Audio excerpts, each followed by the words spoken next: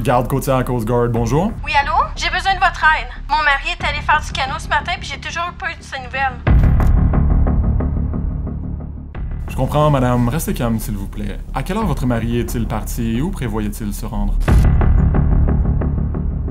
Il est parti vers 8 heures. Il va habituellement sur le lac Saint-Pierre près de l'île de Grâce. Pouvez-vous envoyer quelqu'un, s'il vous plaît? Oui, madame, on va vous aider.